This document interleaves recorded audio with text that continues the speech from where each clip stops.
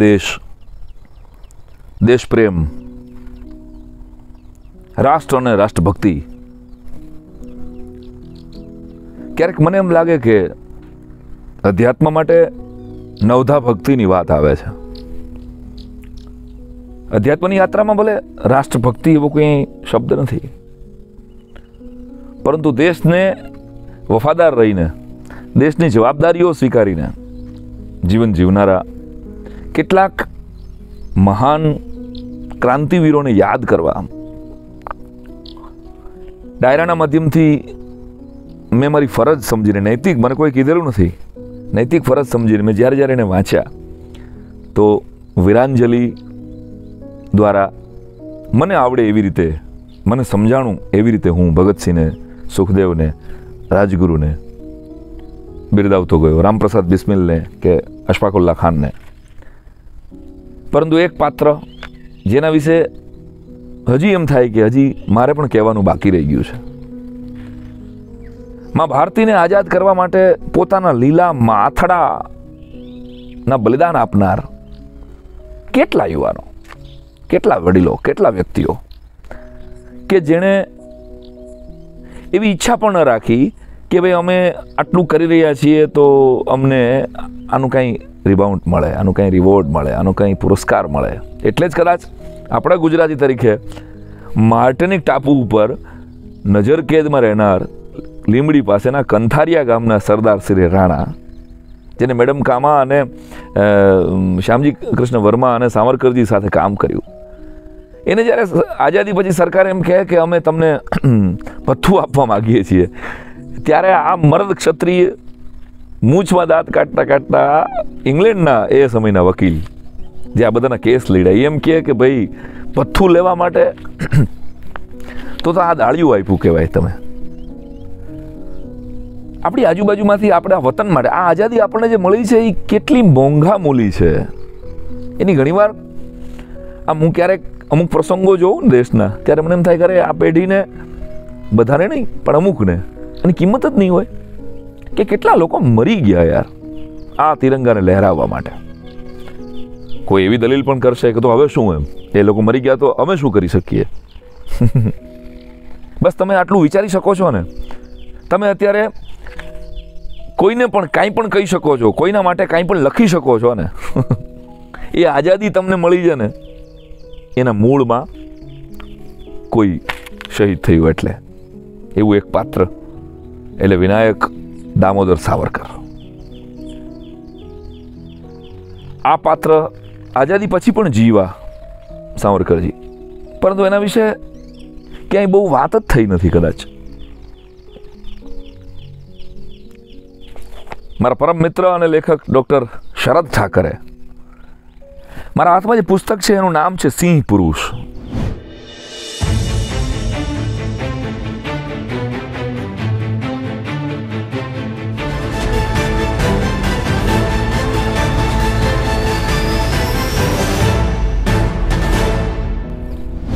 ખરા અર્થમાં સિંહ પુરુષ એટલે સાવરકર. આંદોબાર નિકોબારની જેલમાં માનવ ઉપર આવો પશુ જેવો અત્યાચાર રાષ્ટ્ર માટે સહન કરે એક બેરિસ્ટર લેવલનો માણસ. અને એની આ સાડા ત્રણસો ત્રણસો અઠાવન પેજનું આ પુસ્તક છે. એક જ બેઠકે મારા હાથમાં જ્યારે આવ્યું ત્યારે મેં પૂરું કર્યું હતું. અને શરદભાઈને તો હું ત્યારે ઓળખતોય નહીં. ત્યારે તો પછી પછી મિત્રો બન્યા.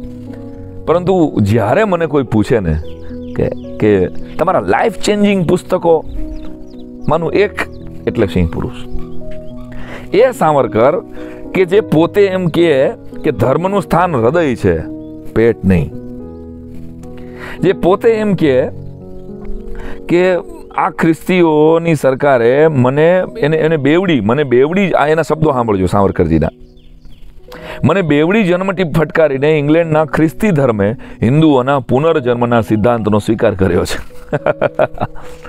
રાષ્ટ્ર માટે આવું સન્માન ધરાવનાર વ્યક્તિ અને એની સાથે કેવું થયું? ત્રણસો ને અઠાવન પેજ આમ તમારા રૂવાડા બેઠા કરી દે ને, એવી તેજાબમાં બોલીને આ ભૂદેવે આ પુસ્તક લખ્યું છે. એમાં કહું તો સહેજ પણ ખોટું નથી. શરદભાઈનું આ પુસ્તક, આ નવલકથા સમર્પિત છે રાષ્ટ્રના એવા વીરવર તેજાબી ક્રાંતિકારી સાવરકરને. એનો એક ચેપ્ટરની અમુક કડીઓ ખાલી વાંચું છું તમારી સામે. સિંહ પુરુષની. સત્તરમું ચેપ્ટર છે, અત્યાચારની અંતિમ હદ. એક નમતી બપોરે જેલર બારી, એનું નામ છે.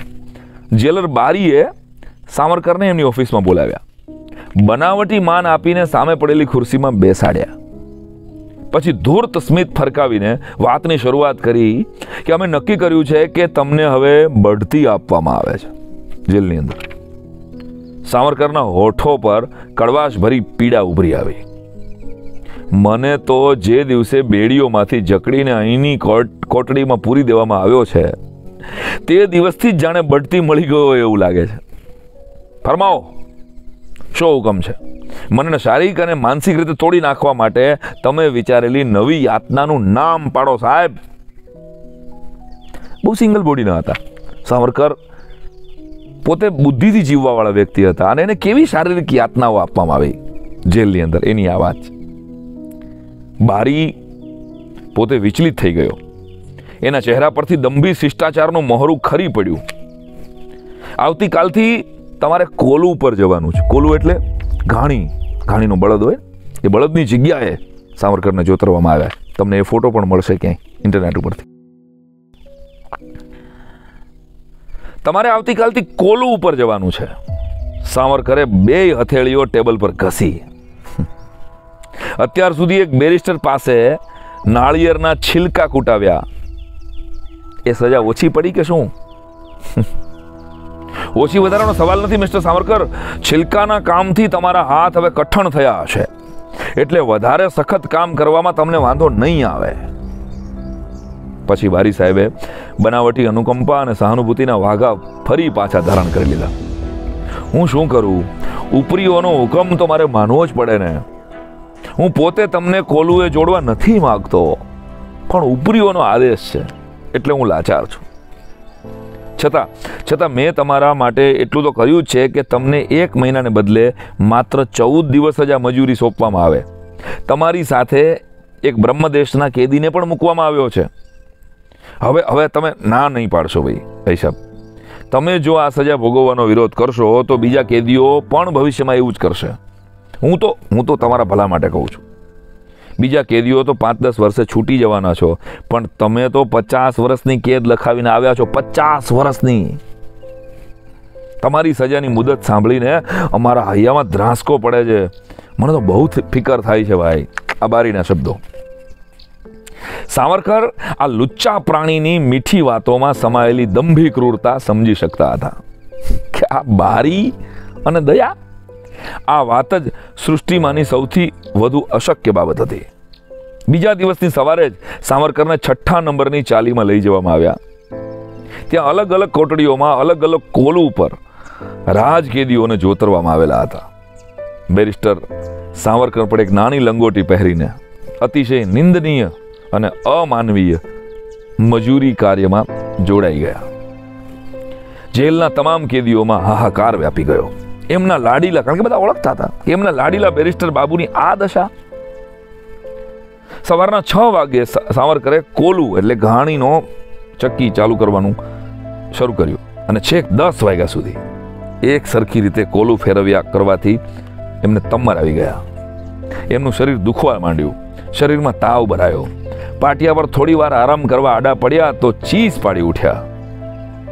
બપોરના ભોજન બાદ ફરી પાછો એ જ અત્યાચાર. શરૂ થયો. એક દિવસ બારી આવ્યો અને રૂઆબભેર બોલ્યો, પાસેની કોટડીનો કેદી તો સાવ અભણ છે. તો એ ત્રીસ પાઉન્ડ તેલ બે વાગતા સુધીમાં પૂરું કરી આપે છે. અને તમે છેક સાન લગી કામ કરીને બશેર તેલ ઓછું આપો છો. તમને શરમ આવવી જોઈએ. સાંભળજો. શરદભાઈ, જે ડાયલોગ લખ્યા છે આઈ લવ યુ શરદભાઈ. સાવરકરે રોકડું પરખાવ્યું. શરમ તો તમને આવવી જોઈએ. આવી બુદ્ધિહીન દલીલ કરવા બદલ હું અભણ, ગમાર, મજૂર નથી કે જે એના જેટલો ખડતલ હોઉં. હું ભણેલો, ગણેલો છું. હું અંગ્રેજી જાણતો બેરિસ્ટર છું, કવિ છું, લેખક છું, ભાષણ કરતા છું. મેં ઉપાડેલું વજન ભારેમાં ભારે માત્ર કલમનું છે. શરમાવું તો તમારે જોઈએ. તમે એ કલમના માણસને કોલુમાં જોડ્યો છે. જાઓ મારો તમને ખુલ્લો પડકાર છે કે હું માત્ર દસ જ મિનિટમાં તમને એક સુંદર સોનેટ રચી આપું. પણ તમે પેલા અભણ કેદી પાસ- જઈ અને એક સાદું, સીધું બે લીટીનું કાવ્ય લખાવી શકશો ખરા? બારી સાહેબ, જેનું કામ જે કરે, અમારા બંનેમાંથી કોઈએ શરમાવાની જરૂર નથી. આ સાવરકર, જેને હાથે અને પગે બેડીઓ બાંધવામાં આવી, એવી અંધારી કોટડીમાં, એવી ખુદ ઊભા ન રહી શકે ને, ટટાર ન ઊભા રહી શકે, વાંકું જ ઊભું રહેવું પડે એટલી નીચી કોટડીમાં. એક જ બાઉલ આપવામાં આવ્યું. અંદર કોઈ જગ્યા એવી નહીં કે જ્યાંથી હવા આવી શકે એવી અંધારી કોટડી. અને એક જ બાઉલ કે જેની અંદર ટોયલેટ જવાનું, પેશાબ જવાનું, એ સાફ કરી અને એમાં જ ખાવાનું આપ્યા. આવી પીડા વિનાયક દામોદર સાવરકરે ભોગવી. અને આપણે એના સન્માનમાં એને પોખવામાં, એને યાદ કરવામાં પણ કેટલા કદર કૂટા કેટલા નગુણા. માં ભારતી ને ગૌરવ છે આવા દીકરાઓ ઉપર, કે જેણે પોતાની જાત વેતરી નાખી. તિરંગાને ફરકાવવા માટે, ઇન્કલાબ, જિંદાબાદ બોલવા માટે જે ખર્ચાઈ ગયા, વેચાઈ ગયા, કપાઈ ગયા, ફાંસીને માછડે છે. અરે, અંગ્રેજ મને ન અડે, એના હાથમાં હું નહીં પકડાવ, એટલે આઝાદ પોતાને પોતાને સુસાઇડ એટેમ્પથી ગોળી મારી લે. દેશ માટે, વતન માટે. હિન્દુસ્તાન આઝાદ થશે, તો અમારી આવનારી પેઢીઓ, એના કોઈના દીકરા દીકરીઓ ધારાસભ્ય નથી થયા, મંત્રીઓ નથી થયા, વડાપ્રધાનો નથી થયા. અત્યારે કેટલાકના તો લગ્ન પણ નહોતા થયા એમાંથી. અને લગ્ન થયા હતા, એના પરિવારજનો ક્યાં છે, આની કોઈને ખબર પણ નથી.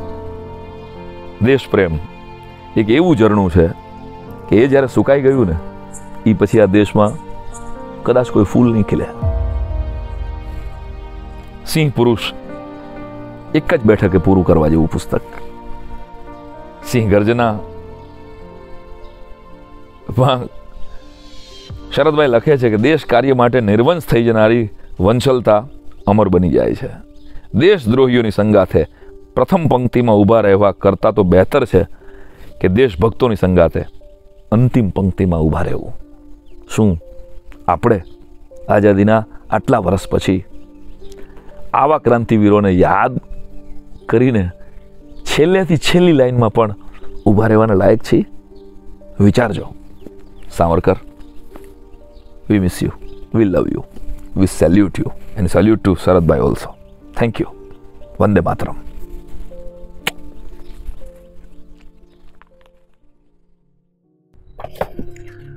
તો દોસ્તો, આવી સરસ મજાની પુસ્તકની વાત સાંભળ્યા બાદ, પુસ્તક પરબ અને પુસ્તક માટે જેણે જીવન આપ્યું, એવા હૃદયસ્થ પ્રતાપભાઈ પંડ્યાના આશીર્વાદથી. બુક્સ ફ્રેન્ડ્સ ફોર એવર શ્રેણી તમે માણી રહ્યા છો. સાંઈરામ દવે ઓફિશિયલ ચેનલ પર. અરે કેટલી બુકોની યાત્રા. એક અત્તરની યાત્રા મારે તમને કરાવી છે. જે મને સ્પર્શ્યા મને એમ લાગ્યું કે જીવનના આટલા પુસ્તકો કેટલાયનું જીવન સુધારી શકે એમ છે. તો હવે નેક્સ્ટ એપિસોડમાં એક એવું સરસ મજાનું પુસ્તક જે આપણી ગુજરાતી ભાષાના બેસ્ટ સેલર પુસ્તકોમાં છે.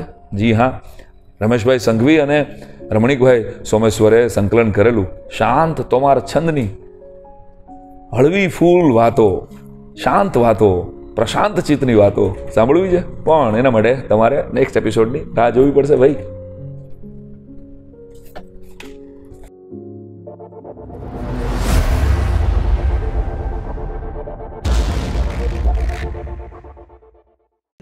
કે જે તમારી આજુબાજુમાં જેવા લોકો છે, જે તમને બહુ ચાહે છે, જે તમારી બહુ કદર કરે છે, જે તમને બહુ પ્રેમ કરે છે, એ તમારા મા બાપ પણ હોઈ શકે.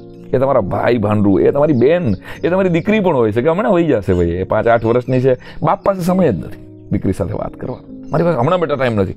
બાળક ઘણીવાર દોડતું દોડતું આવે છે, એ હૂંફ ઝંખે છે, માતાની કે પિતાની. અત્યારે આગો જ અમારી પાસે સમય નથી. એ હાય. પછી એ દીકરો વીસ વર્ષનો થાય, કે એ દીકરી વીસ વર્ષની થાય, અને એ પોતાની જિંદગી જીવવા માંડે ને, યાદ રાખજો, જ્યારે તમારી પાસે સમય આવશે ને, ત્યારે તમારી જ દીકરી પાસે સમય નહીં હોય. અને ત્યારે હર્ટ બહુ થઈ જાય છે. કેટલાક તો વૃદ્ધાવસ્થામાં વૃદ્ધાશ્રમના પગથિયા સુધી પહોંચે છે. આનું કારણ કે તમે સમય આપ્યો નથી અને હવે તમે સમય માગી કેવી રીતે શકો મારી પાસે? મારી પાસે ટાઈમ નથી, મારી પાસે ટાઈમ નથી. આ બોલવાનું ખાલી બંધ કરી દઈએ ને. તોય ઘણો ટાઈમ જો વિચારજો.